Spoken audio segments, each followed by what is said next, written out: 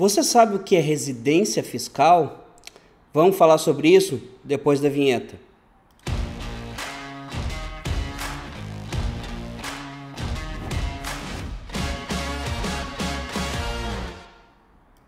Olá pessoal, meu nome é Carlos Schreier, mais conhecido como Brasileiro Sem Fronteiras. Aqui nós falamos sobre internacionalização e tudo que tem a ver com segunda cidadania, residência por domicílio, residência fiscal Abertura de empresa no exterior, abertura de conta bancária no exterior, investimentos no mercado financeiro no exterior, investimentos no mercado imobiliário no exterior e por aí vai. Bom, hoje nós vamos falar sobre alguns conceitos que o pessoal confunde muito.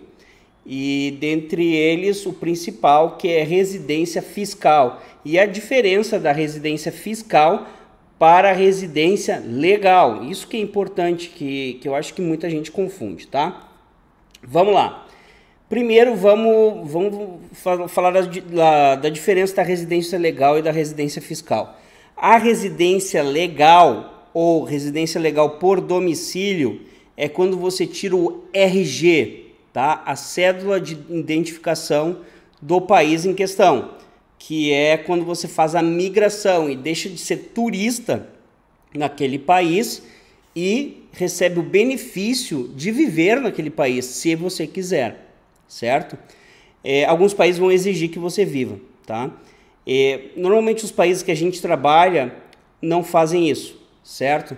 De novo o negocinho do... Não consigo tirar o negocinho do, dos efeitos especiais aqui no vídeo, né? Daqui a pouco aparecem uns balão aí. Bom, é, vamos começar pelo Uruguai. Essa aqui, ó, residência, né? Residência legal, cédula de identidade do Uruguai. Aqui em cima tem escrito residente legal lá em cima, né?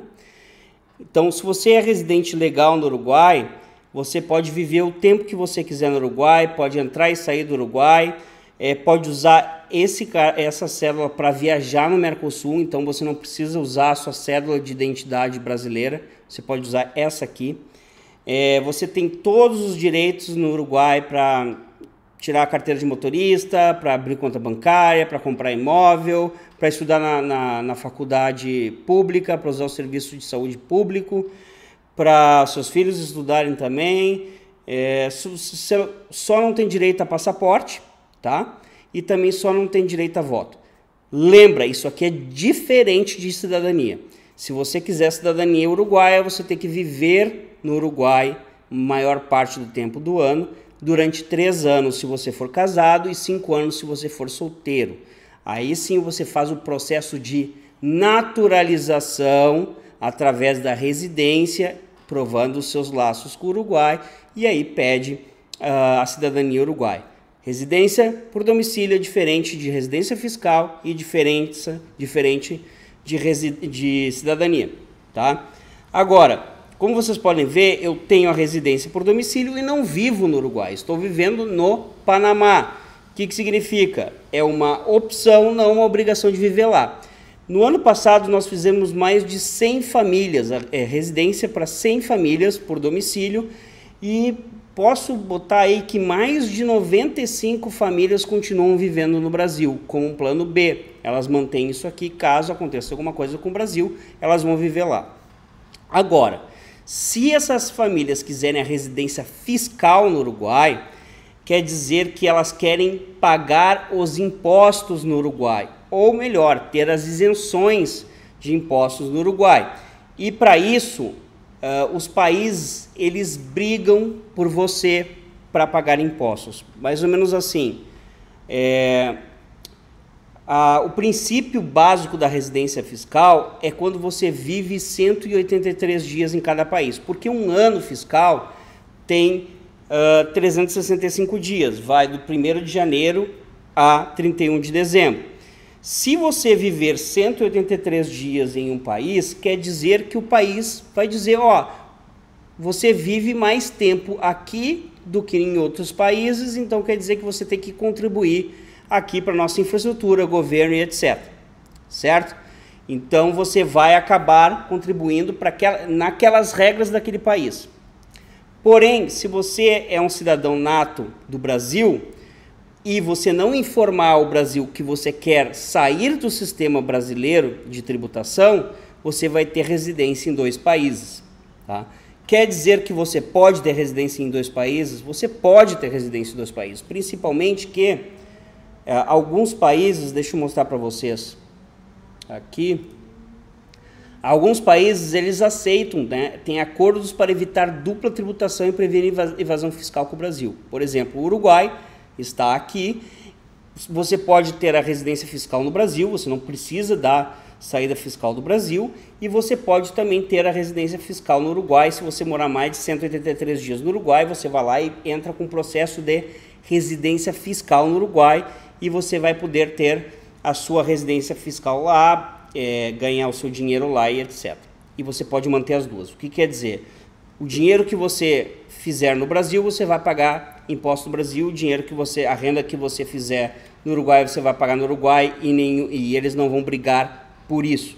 Então você pode ficar quantos dias você quiser no Brasil e quantos dias você quiser no Uruguai. Não tem essa, é, essa briga. Né? Agora, é, vale a pena você fazer isso? Depende. Se você quiser ter investimentos no exterior, por exemplo, em Bahamas, Estados Unidos, Panamá, etc., e quiser morar no Uruguai, por exemplo, uh, o Brasil ele vai taxar esses investimentos né, no Uruguai, porque o princípio da tributação do Brasil é taxar os seus, os seus residentes fiscais é, de forma universal, no mundo inteiro. Já o Uruguai não. É tributação territorial, é o que você faz dentro do país, tirando aí do, do colocando dois asteriscos que é, é na você tributar em juros e dividendos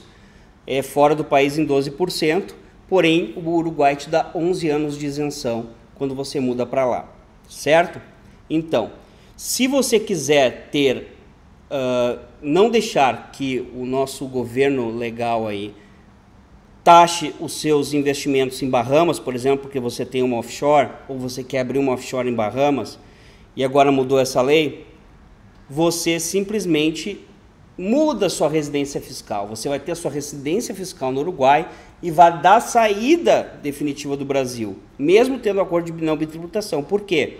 Porque o Uruguai vai te deixar em paz, pelo menos nos 11 primeiros anos. E você dá a saída definitiva do Brasil. Lembra que nesse período de 1 de janeiro a 31 de dezembro, você tem que definir qual dia você vai sair. Vou sair dia 15 de julho. Então, no dia 15 de julho, você vai informar para a Receita Brasileira em fevereiro que você saiu dia 15 de julho e no ano de 2025, em abril, você vai fazer o último imposto de renda informando que dia 15 de julho você mudou sua residência para o Uruguai, certo? E aí você vai, em, em, em abril, você vai pagar o imposto de renda referente a dia 1 de janeiro a 15 de julho. Somente do dia 15 de julho a 31 de julho de 24, a 31 de dezembro de 24 você não vai pagar impostos. Por quê? Porque você vai estar no Uruguai. E aí o que, que vai acontecer? O dinheiro que está no exterior você não tem mais que declarar para o Brasil a partir de dia 15 de julho de 24. Por quê? Porque você deu saída definitiva do Brasil. E tudo que você tem no exterior você não precisa mais declarar. O que você vai declarar para o Brasil é a sua renda no Brasil, aposentadoria, aluguéis, é, tudo que você, empresas que você tem no Brasil, essas coisas, elas continuam no Brasil, certo? Você pode ter empresas? Pode. Você pode ter imóveis alugados? Pode. Você pode ter sua aposentadoria? Pode. O que normalmente não se tem é contas bancárias mais, a não ser uma conta de não residente e investimentos financeiros, tá? O resto você leva tudo para o exterior. Aí o Uruguai o Uruguai vai deixar que você tenha aquela uh, empresa em Bahamas, BVI, Panamá, fazendo diferimento, né? não tirando o lucro dela. E se você quiser tirar o lucro dela, levando para o Uruguai ou para qualquer lugar do mundo, você tem 11 anos para fazer isso. Beleza? Isso é residência fiscal. No Uruguai, é, a residência fiscal é você morar 183 dias, mas tem uma opção para você diminuir isso. Qual é a opção para você diminuir isso? É você comprar um imóvel acima de 550 mil dólares na pessoa física, tem que ser imóvel, e aí você diminui essa presença substancial para 60 dias. Isso é o, praticamente o setup que vários empresários estão fazendo. Ou seja, muitos empresários têm aquela empresa em Bahamas, ou BVI ou Panamá, certo? Eles faziam diferimento tributário enquanto o Brasil permitia, que é não tirar lucro da empresa, reinvestir nos Estados Unidos, em diversos países e ter a sucessão para os seus filhos. Agora, o Brasil vai começar a cobrar imposto em cima dessas empresas. O que, que eles vão fazer? Eles vão mudar a residência fiscal para o Uruguai, certo? O que, que eles vão fazer? Vão comprar um imóvel em Punta del Este, em Montevidéu, e vão passar o verão lá, de janeiro e fevereiro. São os 60 dias que tem que passar. Eles compram um imóvel de 550 mil em Punta, isso é normal, fácil. E o restante do ano eles passam até seis meses no Brasil, que é o que pode passar, e o restante viajando pelos Estados Unidos e Europa. Esse é o setup normal que vão fazer. Isso é o Uruguai, tá? Eu não sugiro você investir no Uruguai em diversos imóveis, em investimentos financeiros e deixar muito dinheiro no Uruguai. Por quê? De novo. Ó. Por quê? Porque se você faz isso, você tem diversos, é, diversos impostos no Uruguai, tá?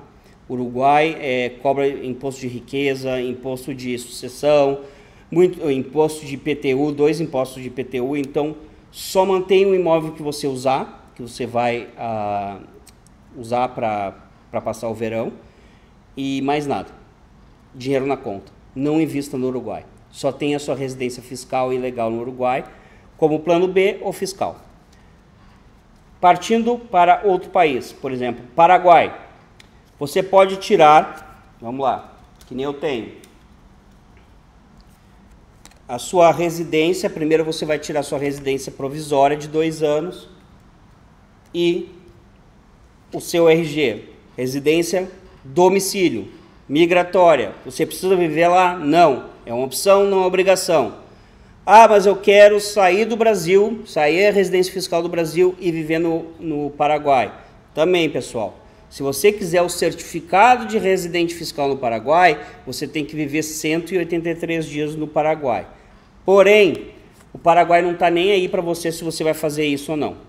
Tá? Se você tiver renda fora do Paraguai, você não precisa ter esse certificado, certo? Quem vai querer saber se você realmente está no Paraguai na hora da saída definitiva é o Brasil, tá? Então, para comprovar realmente que você está 183 dias no Paraguai, o Paraguai não está nem aí, o Brasil vai querer saber se você é residente fiscal no Paraguai. Não necessariamente você tem que ter um certificado de residente fiscal no Paraguai. O que você precisa comprovar para é, a Receita Federal do Brasil, isso funciona no Uruguai, no Paraguai e também no Panamá ou na Costa Rica, etc., é por exemplo, isso se a Receita pedir, tá? Porque você vai informar na, no último, na saída definitiva que você está indo para o Paraguai ou para o Panamá e no último imposto de renda, mas a Receita pode nunca perguntar para você nada. Mas digamos que a Receita pergunta numa malha fina. Você pode comprovar com a, comp um, a compra de um imóvel né, no seu nome, o, a compra de um carro no seu nome, um contrato de aluguel no seu nome. Então são é, as passagens de ida e volta, etc. É muito importante você comprovar para a Receita que você não está no Brasil. Que você entra no Brasil, fica um mês, dois meses, mas que você não vive no Brasil. Que você não tem apartamento próprio no Brasil para você que você viva, que eles estejam alugados. Que toda vez que você vem pro, vai para o Brasil, que você fica no Airbnb, por exemplo.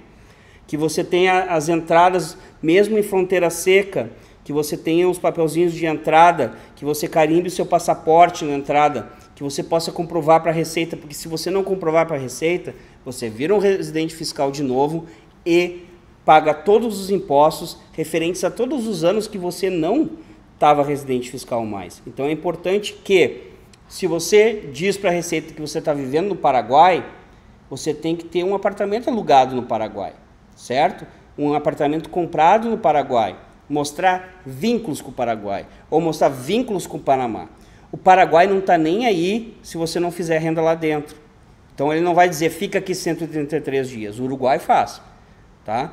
O Paraguai e o Panamá não. Então o que, que você tem que fazer é ter um apartamento alugado, um carro na garagem, etc. E pode viajar por aí, mas você tem que ter mostrar para a Receita Brasileira que você tem vínculos com aquele país, certo?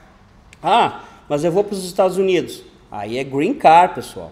O green card já demonstra para a Receita Brasileira que você está fazendo os impostos nos Estados Unidos de forma universal. Daí não é territorial que nem Panamá, Uruguai, Costa Rica e Paraguai, certo? O green card significa que se você tem um green card, você vive nos Estados Unidos ou pediu um reentry permit para ficar um tempo fora, tá? As pessoas não sabem disso. Você pode ter um green card e por um tempo não viver nos Estados Unidos, mas você vai estar pagando imposto nos Estados Unidos. Então o que, que significa?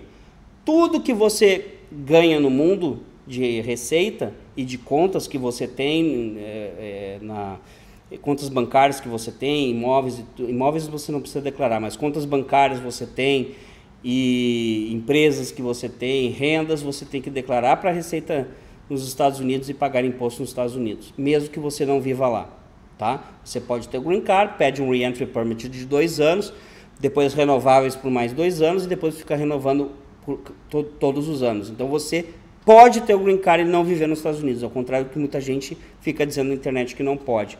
Porém, é, é, o green card é, ao mesmo tempo, o, o, domicílio, né, a residência por domicílio e também a residência fiscal.